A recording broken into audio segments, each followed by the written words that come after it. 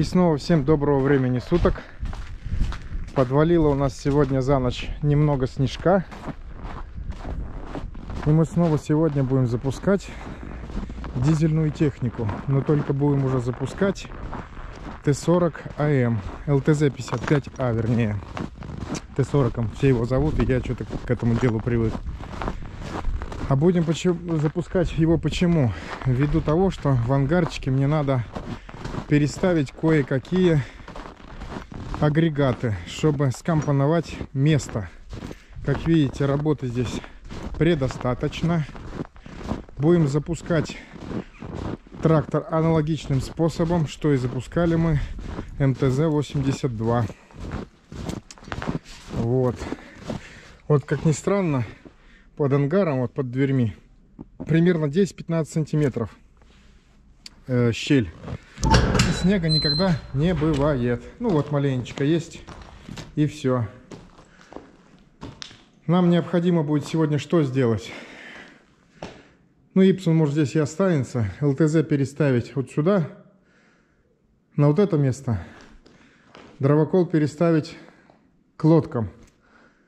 Ну и все. А здесь надо, мне необходимо поставить другую технику. Один товарищ попросил. Ну и все, приступаем к запуску ЛТЗ-55А. Как я это делаю? Мороз у нас сегодня, что получается, градусов 15-14, такой же. Но передают у нас морозы до 38 аж. Вот. И поэтому здесь кое-какую перестановочку надо мне сделать, чтобы было легче дальше работать, облегчить свой труд. А то, что, допустим, понадобится у меня какой-то трактор, приходится запускать другие техники. Ну все, приступаем к работе. Итак, берем мы теплопровод, подкатываем под трактор, под двигатель трактора. Он даже маленечко не входит, так как трактор стоит маленечко в ямке. Настолько все тителька в тительку подгонял, что вот как-то так получается. Ну ничего страшного, мы с этой стороны просто его включим и все. Как видите, трактор, он это изморозью покрылся. Затем берем нашу пушечку. Опа! И устанавливаем ее в теплопровод. Воздуховод ли он. Включаем в розеточку. Так.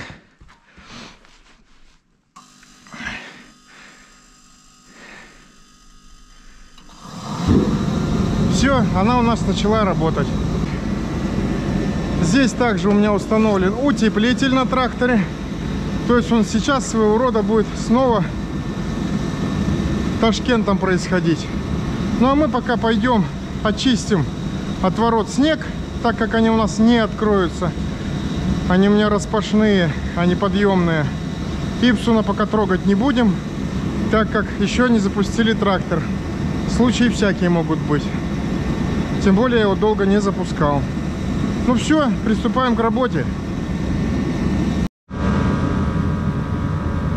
Итак, прошло у нас 30 минут. Тепловая пушечка у нас еще греет, подогревает наш двигатель, трактор в целом. Давайте пробежимся по трактору в общем. Залита у меня еще летняя солярка, но там остатки ее. Мы сейчас, если дай бог, запустим двигатель, мы сразу же поедем, заправим полный бак на автозаправочную станцию. Далее, стоит у меня стартер редукторный, чешский, 3,7 киловатта. Вот, э, дальше. В двигателе залито у меня полусинтетика масло, называется Авангард 10В40. Масляный насос у меня включен, так как я его никогда практически не выключаю. Да не практически, а никогда. Так как этой тепловой пушки достаточно, чтобы полностью все прогреть. Стоит у нас на нем 132 аккумулятор. Ну и в принципе все, на что стоит обращать внимание при запуске двигателя. Ну и все, давайте пробовать. Сейчас вам покажу Двигатель, как видите, весь сухой, весь тепленький. И вот он установлен у нас насос НШ-50. И он находится у нас во включенном состоянии.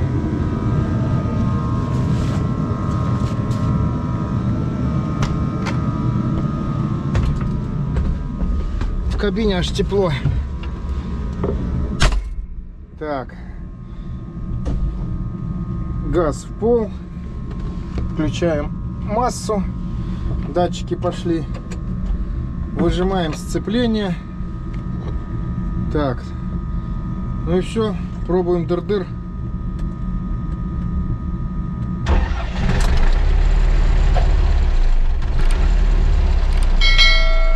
Если вам видно, не видно, температура, вон, гляньте какая.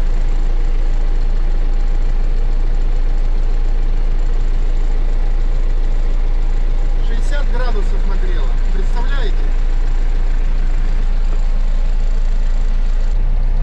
Ну все, сейчас выгоняем Ипсум, даем себе дорогу и едем в сторону заправки.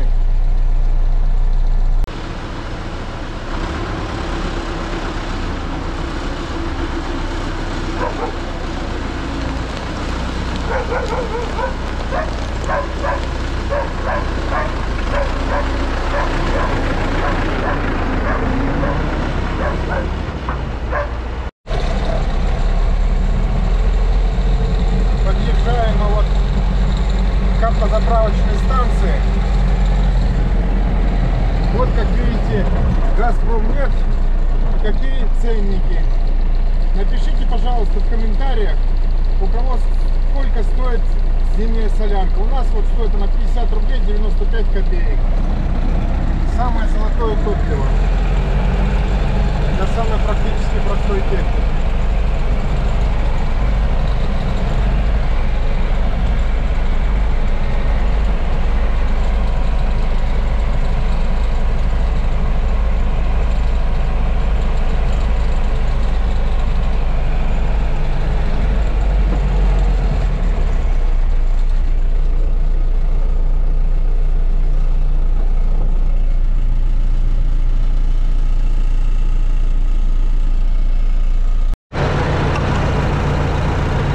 Как видите, заправили мы полный бак. Вошло у нас 45 литров, 46 запах. Сеточку я не использую, так как пистолет отбрасывает.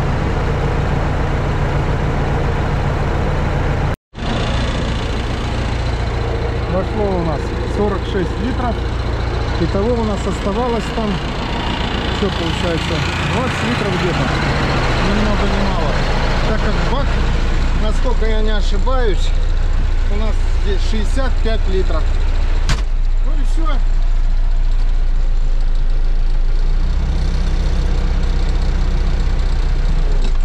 Теперь едем чистить снег. Сначала к родителям, ну а потом уже себе.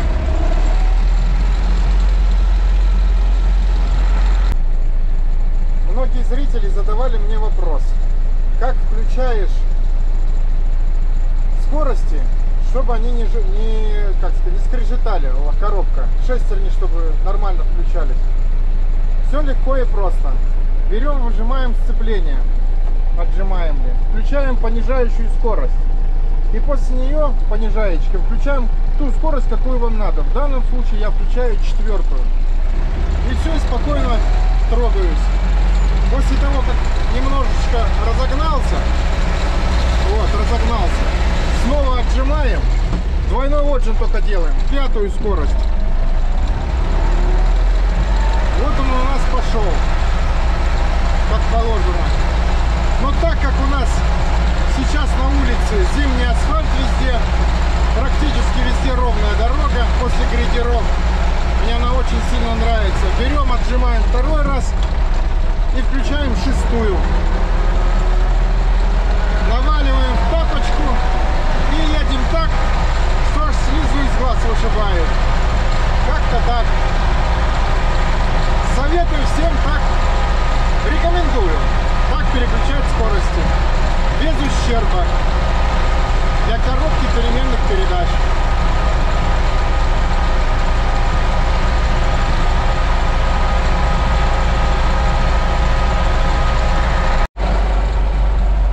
Подъезжаем опускатель к родителям. Так-то не очень сказать, что сильно замело. Грейдер уже прошел, значит после себя бархан уже не оставит. Ну и все, и приступаем к работе. Владимир Семенович в ограде уже все вычистил, как всегда. Молодец.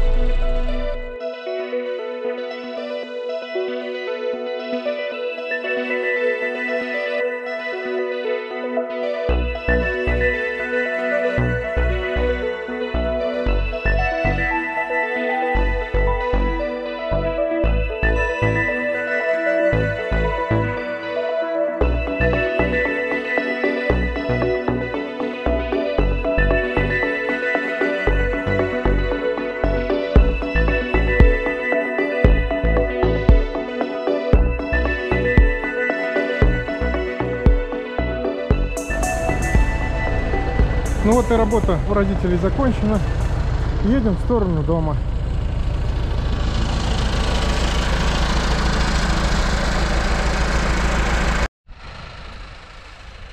Приехали мы домой. Теперь приступаем к чистке снега. До ангарчика. Ну и ко дворам.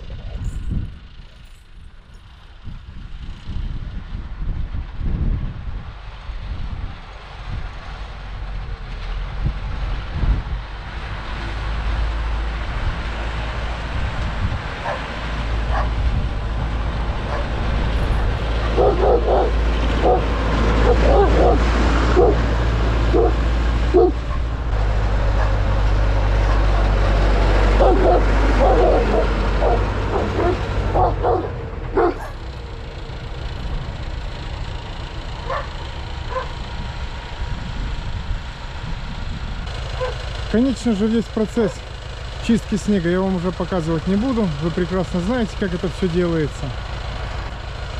Чищу, как видите, я лебедочкой своей, как я уже говорил. Данный трактор я то же самое практически не завожу, кроме как снег почистить. Ну и там будет, может быть, попозже покажу, как я передвигаю сток сена тоже с помощью вот этой лебедки. Ну и все. На этом спасибо всем, кто смотрел. Еще раз вам говорю и советую, запускайте двигатели как положено. И они вам будут служить верой и правдой долгие-долгие годы. И вы меньше в них будете лазить. На этом наше видео заканчивается. Спасибо всем, кто смотрел. Подписывайтесь на канал. Дальше будет много интересного. Всем всего доброго и до новых встреч. Не ломайтесь.